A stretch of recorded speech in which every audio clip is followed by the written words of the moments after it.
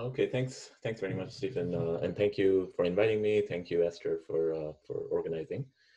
And um, so I'll what I'll do with my 25 minutes is I'll give you an overview of the various um, uh, streams of work, work streams that we're involved in, um, with in collaboration pr primarily with the Bangladesh government, but also doing some work in Sierra Leone and Nepal, and, and a couple of other countries. Uh, but our work in Bangladesh is what I'm what I'm mainly focused on. And and then there's multiple work streams, and I'll just like highlight one or two and talk to you. Given the you know the profile of this audience, I'll talk to you about a one particular project that should be of interest to the an interdisciplinary audience with this particular you know disciplinary configuration. Okay. I'm going to share my screen. Um, where I should share this one. Okay.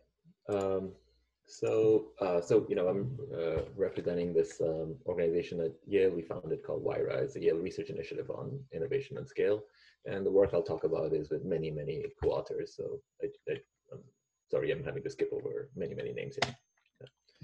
So I have this first slide to just give you an overview of the various work streams.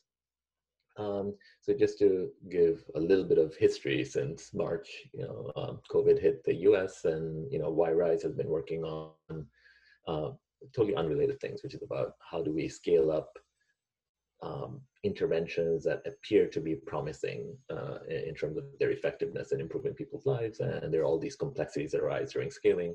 And that's what we normally uh, work on and study but we you know uh, stopped all of our any kind of in-person data collection and intervention and work um, uh, in in all countries where we work and we kind of repurposed those um, that research infrastructure in order to be responsive to governments wherever they needed help uh, for COVID response policy. And something that struck me, I'm from Bangladesh, uh, and, and, all of our work is now, you know, actually fully integrated with the government, and we're I'm quite closely connected to the government.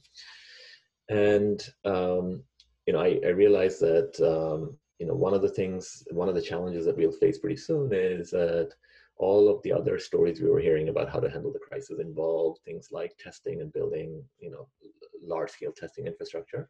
And especially in rural Bangladesh, we never, we will not have that uh, happening anytime soon. Um, and so are there other indirect ways for us to collect data and be helpful in order to get some sense of whether the disease has arrived, whether it's spreading, exactly where and how do we uh, devise policies in response. Right? So that's why we started doing this high frequency data collection where the general idea was, you know, for our existing work, which, which is unrelated to COVID, we were already collecting data on large numbers of people, about 20, 30,000 people around the country for other projects. So we sort of had some statistically representative samples or understood how, what adjustments we need to make in order to make them representative. Um, and so we just continue to follow up on those samples. Um, and the value of that is not only the representativeness, um, but also the fact that when you have baseline data, that allows you to make much better statistical inferences looking at pre-post changes rather than just cross-sectional data after the after the crisis hits. And so we started collecting, doing some syndromic surveillance, right? But also collecting information on public health behavior, knowledge, things like mask use, social distancing behavior, right? But it was also clear that this crisis was going to soon become an economic crisis as much as a public health one. So we started collecting information on employment shocks and income shocks and prevalence of food insecurity, um, especially in areas where even in a normal year, uh, we, we have some insecurity. Um, what's happening to food prices? Are there shortages appearing in certain parts of the country, et cetera, et cetera. And then we also collected information on people's movement because, you know, given that it's a disease with human to human transmission, it, it was important for us to track uh, migration. And while we were making all these phone calls, it became clear that, you know, some value we could add is not just collect data via phone calls, but use some of these phone calls to also spread messages. Right? So I had been running randomized control trials in other sectors and settings, like in Malawi, trying to disseminate information about new agricultural practices in person using, you know, key nodes in various social networks in the village. And those proved to be successful to improve or hasten the adoption of productive agricultural technologies. And so then the idea was, oh, can we employ some of these strategies here, except for public health messaging and, you know, on the phone, And do we need to use similar strategies like providing incentives for people who are passing on these messages and telling them, you know, we'll give you some phone credits if you pass, pass these on, etc. Okay. So we're also like running these quick and easy interventions uh, to complement the government's kind of wide broadcast type messaging.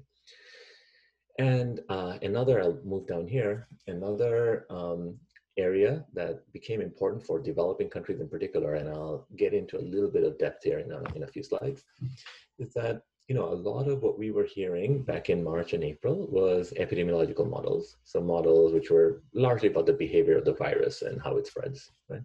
Now, especially when you get into developing countries, low and middle income countries, where adherence to social distancing may not be uniform and it's going to be very difficult to monitor and enforce people's behaviors then it's important for us to start adding human behavior into those models. It's also important for us to start thinking about what the, what the economic costs are and what the indirect effects of crisis and then a lockdown, which, you know, and social distancing, of course, imposes economic distancing, what those like downstream effects might be. And to get a handle on the right evidence-based policy, you need to think about both the economics as well as the public health, of course. And and so we were trying to sort of add to like some of the standard models that were influential for us uk policy like like you know we heard a lot about the imperial college model for example and just started inserting economics into it especially in data from developing countries okay so i'll tell you a little bit about this today um, and then let me just uh, point out I, I should move on from this slide let me just point out two additional things so one is there are you know based on all this data it became clear that there are some specific interventions that may be required. So I'll tell you a lot about our work on producing and distributing masks. We're now running, uh, at the request of the WHO chief scientist, we're running um, a large-scale trial involving 700,000 people in rural Bangladesh, distributing masks and then doing seroprevalence surveys to see whether masks are actually effective at reducing COVID transmission if you are able to induce um, community level mask wearing norms. Um, and also we're also answering the question, are masks protective for the wearer as well, doing individual level experiments. So that's one stream that I'll tell you a little bit about. Another stream that I won't tell you too much about, but it's much more economics, uh, but I'll just highlight uh, what the challenge is. That regardless of your position on social distancing and lockdowns, right, it became clear that especially in low and middle income countries that we need to get relief, like social protection payments in the hands of people very, very quickly, right? And that leads to a new challenge, which is in the US, you can just, you know, uh, say, look at last year's tax returns and figure out who wasn't earning very much and send them some money. But in Bangladesh, where like less than maybe two to 3% of people submit tax returns and the people who need social protections really don't, right? How do you identify the poor? How do you identify the people who are suffering right now during this crisis and, and need support, right? So for my 20, 30,000 people, I have very good data because I had baseline information plus phone survey data on how, what their life is like today. But we need to solve the problem for 150 million. So how do you quickly scale up from 20, 30,000 to 150 million? And, and so the, the trick we're using here is, is that you know, for those 20, 30,000 people, I have sort of the ground truth from my data, survey data on who's suffering and who's not, who, who deserves support more. We also have the cell phone numbers. And if you can connect that to cell phone, like what's called call detail record, CDR data, um, to understand the patterns of cell phone usage, then it turns out, it won't surprise you to learn that uh, the poor and the non-poor use their phones somewhat differently. So you could, you know, at least a machine learning algorithm given that I know who's poor and who's non-poor in my sample of 20 to 30,000, right? And use machine learning to try and pick up the subtle patterns of cell phone usage that are predictive of somebody being poor. And if there's an algorithm you can devise that you feel confident in, then you can return that back to the cell phone company who can then run it on their entire subscriber base, right? And that will give us some signal, some hints as to who's poor, who's likely to be suffering. And then you can send them text messages and follow that up with, um, with like some human uh, checks and balances. Okay, so I won't talk to you too much about that project, um, uh, but I will tell you about mass and I'll tell you a little bit about what we learned from uh, the epidemiological modeling. Okay. So uh, in terms of epi modeling, here's the situation we had in low and middle income countries. I'm just going to give you one quick insight, right? So unlike say Ebola, Zika, etc., what was unusual about the COVID crisis is that it hit the rich countries first, like the US, UK, and we started hearing a lot about what these countries were doing. Because when something hits the US, it just kind of sucks up all the oxygen in the international media, and you just keep hearing about that, right? And the risk there is that let's say there's a strategy that is sensible for the US, given what that, say, the Imperial College model was telling us, right? Now, if it's sensible for the US, it doesn't necessarily mean it's also sensible for the rest of the world. Okay. And and then the political problem we have is that you know regardless of what a leader in a developing country would do it's going to make them look bad like either lots of people will die from the virus or if uh, you know uh, or if they impose lockdowns then people are going to be suffering in other ways right? So for for a politi- political leader and it's very difficult when you know you're between a rock and a hard place. It's very difficult for you to do anything that's different than what say the us and uk are doing right? Because at least if if if you're doing poorly but you follow what everybody else is doing you have some cover. Whereas if you go your own way and then people suffer they will for sure in some way then you know you, you might be blamed for it right so that's why i kind of inserted the developing country data into these models to see if we get a different answer or not it turns out you do get different answers and let me give you the intuition for why so one is that the age distribution of the population in low income countries is very different than in high income countries, right? In low income, very small fraction of the population is elderly. In high income, much larger fraction of the population is elderly. Uh, this is a distribution of countries with the percent of the population over the age of 65, right?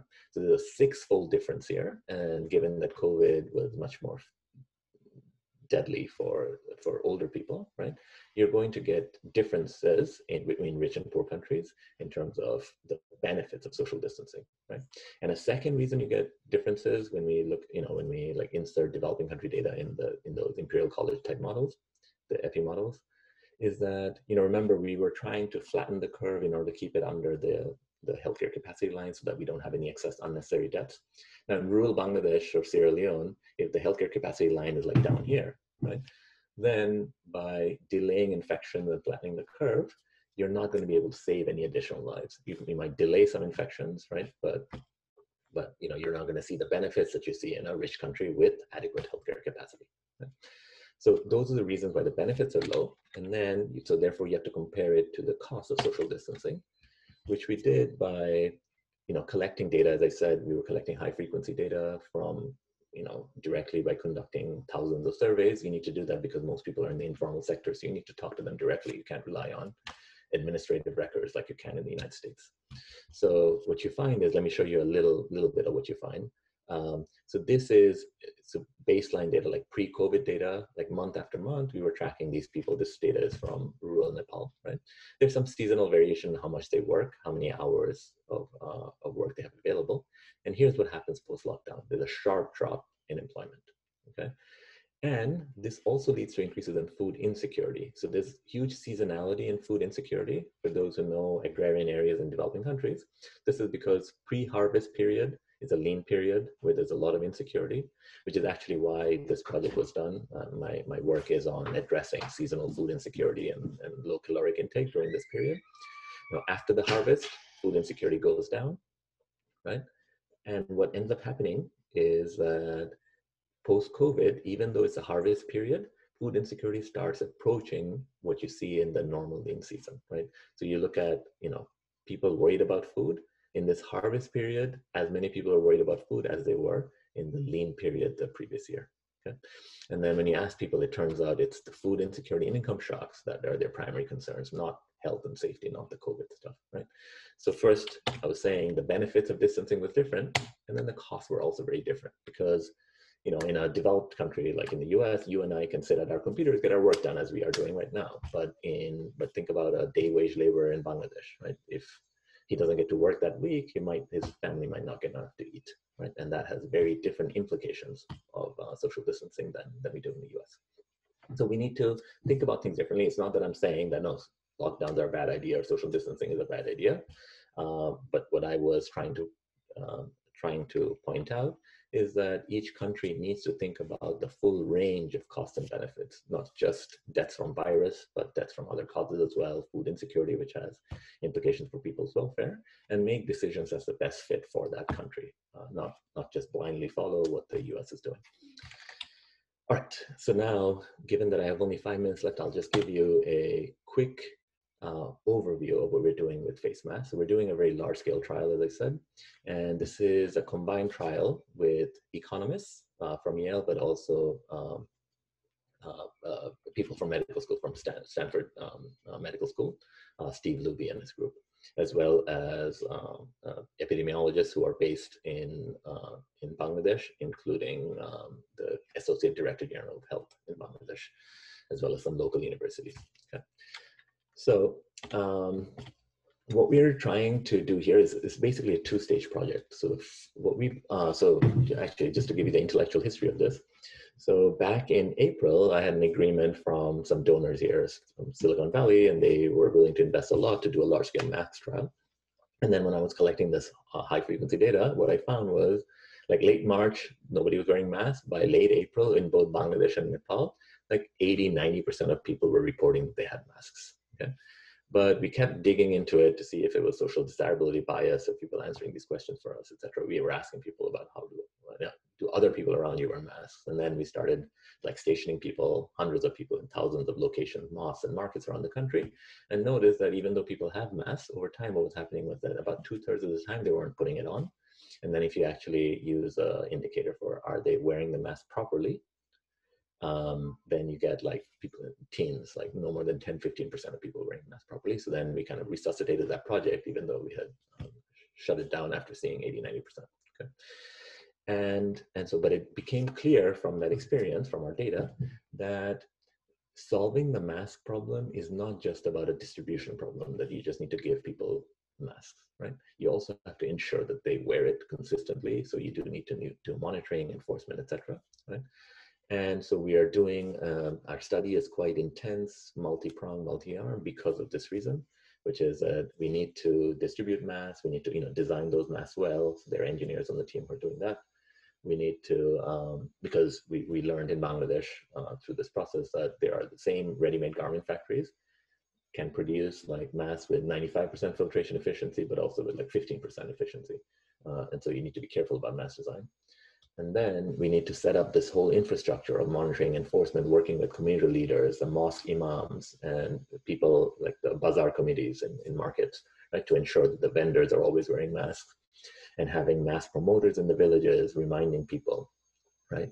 And then we're experimenting with things like providing incentives to the community to wear masks, like providing incentives to the leaders, both monetary incentive and then also randomizing in sort of certificates given by the government or partner in the, the kind of the central government uh, in order to see what how to get people to wear masks. So that's the first stage. And then the second stage, we take blood spots both before and after the trial in order to um, um, uh, Okay, yeah, so I'll just put this up, the study design, so you can see it. So we take blood spots in order to do seroprevalence to see whether or not antibodies um, appear in sort of the treatment villages relative to the control. And then we also do an individual level experiment with some vendors to, to test whether or not masks are actually protective. So this is, these are vendors who are at high um, kind of um, high traffic areas. Oh, I have 25 minutes. I started at 9.05, so I guess I have five minutes. I thought I was ending at 9.25. Um, so with my five minutes. You're uh, fine. You're fine. um, so with my five minutes, what I'll do is, let's see, um, I'll, I'll just quickly run through uh, what, what, the, what the design is. So what we do is we take um, upazilas are sub-districts, and we take one village in the sub-district, and, and then you match up two different villages in terms of whether or not, you know, in terms of the population size, as well as the COVID case trajectory, which we get from the government, right? And uh, what we end up doing is we take villages that are um, that are, are, matched up in, in, these two dimensions and randomly assign one to treatment and control. And, and then we create the catchment area around the village. So not only all village residents, but also the markets where they shop, right? That's part of the catchment area because that's a high traffic area. The mosque that's serving the village, which is another high traffic area where people get together, especially on Fridays in dense environments. Right? So it's an important sort of place to do this intervention. And, and we randomly to treatment and control. Okay. So, um, so the primary outcome we're interested in, I mean, this is primarily a health study, is the second stage outcome, which is what's happening to uh, symptomatic SARS-CoV-2 infection. So, which is first we collect data, sort of phone survey uh, or in-person survey data on whether or not the people are exhibiting respiratory symptoms, right? And then we, um, uh, you know, prioritize for testing people who have who have symptoms, and we do serological testing. Uh, but then we're also doing a lot of direct observation to understand the impact of the intervention on mask use in mass markets or the public areas, right? And then we're experimenting with things like those certificates and incentives and so forth. Okay? Um, and it turns out like from our pilot, what we've learned so far is even without all the bells and whistles we've added, just a basic set of interventions that include some monitoring, that increase in our pilots increased mask usage by about 40 percentage points, which was about basically tripling mask usage. But we were trying to get that even higher. Um, and because, you know, answering this question requires a very large scale study because, you know, if COVID rates are low in rural Bangladesh, then you need large samples in order to statistically detect the effects on, uh, on infection.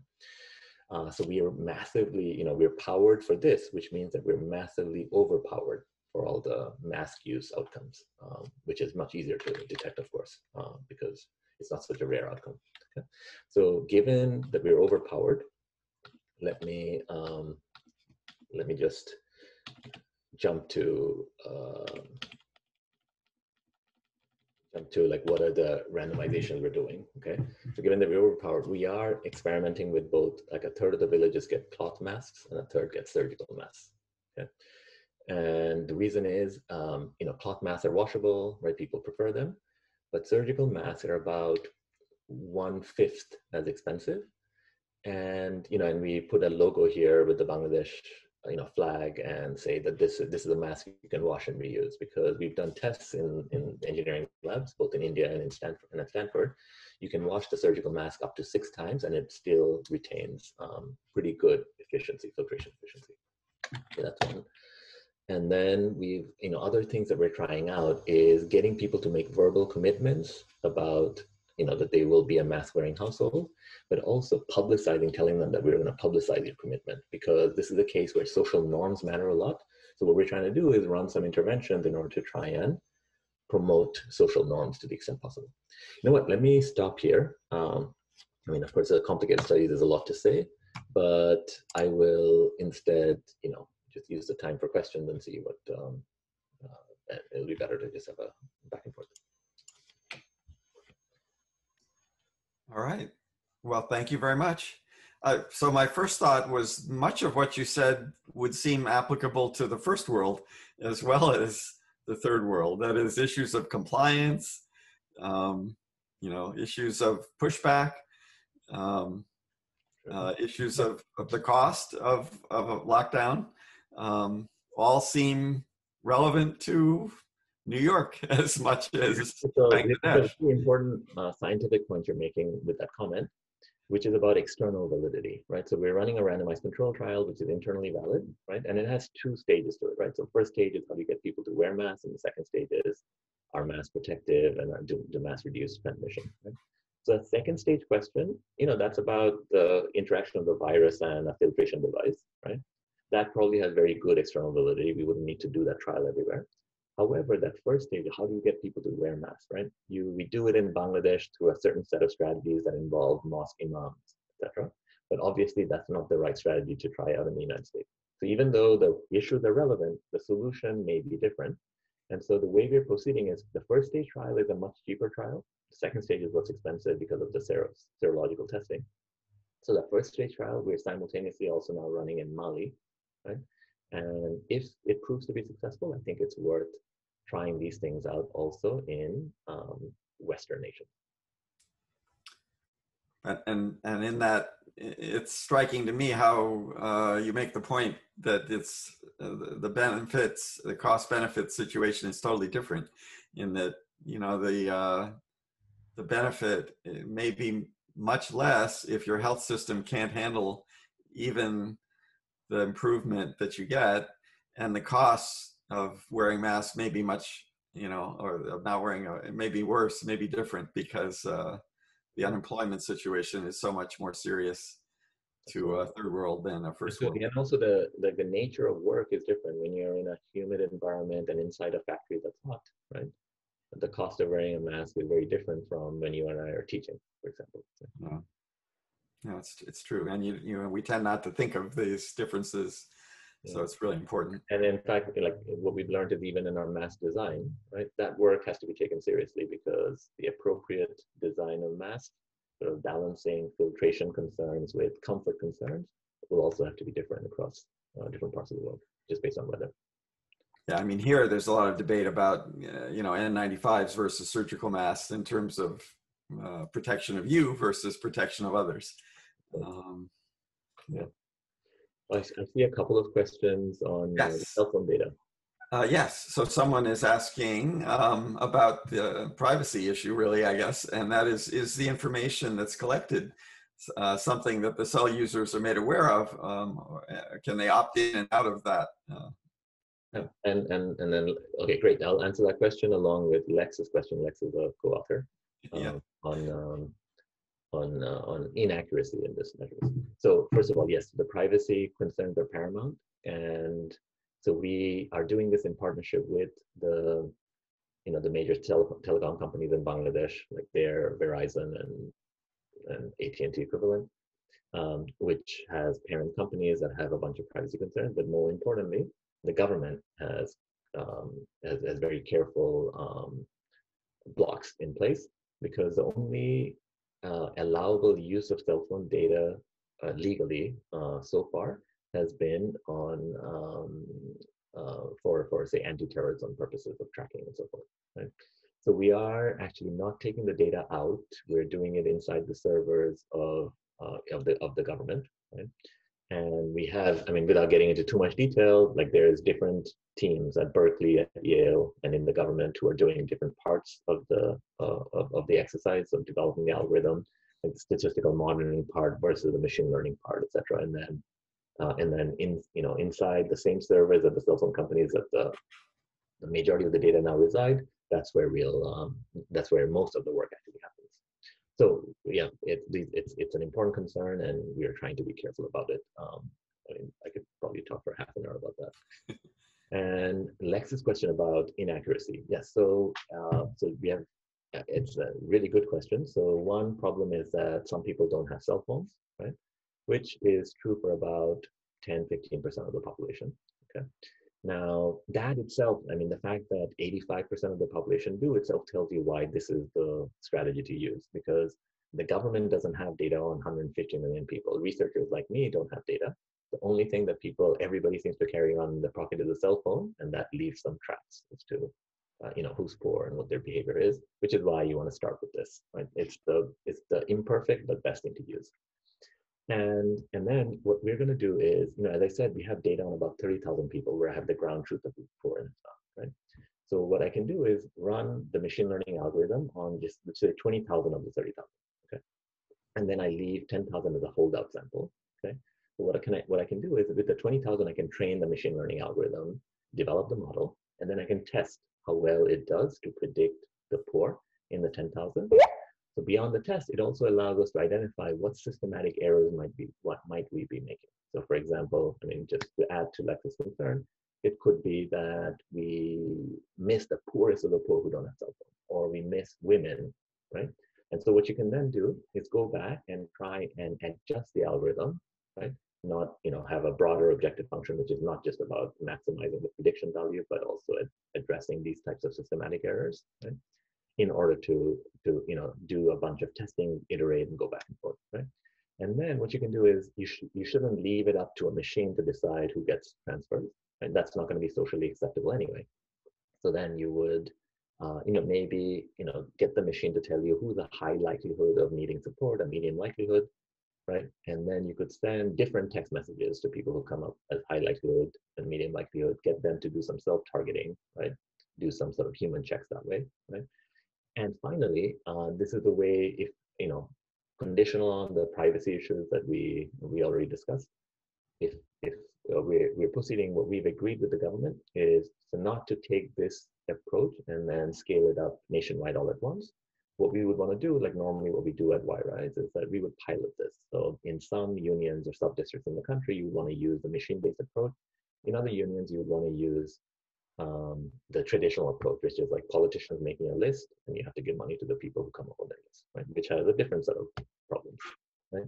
And then you can test, like since we're collecting the phone every day anyway, you can, if you do the do this test in those areas, you can test whether or not um, one strategy works better or worse than the other.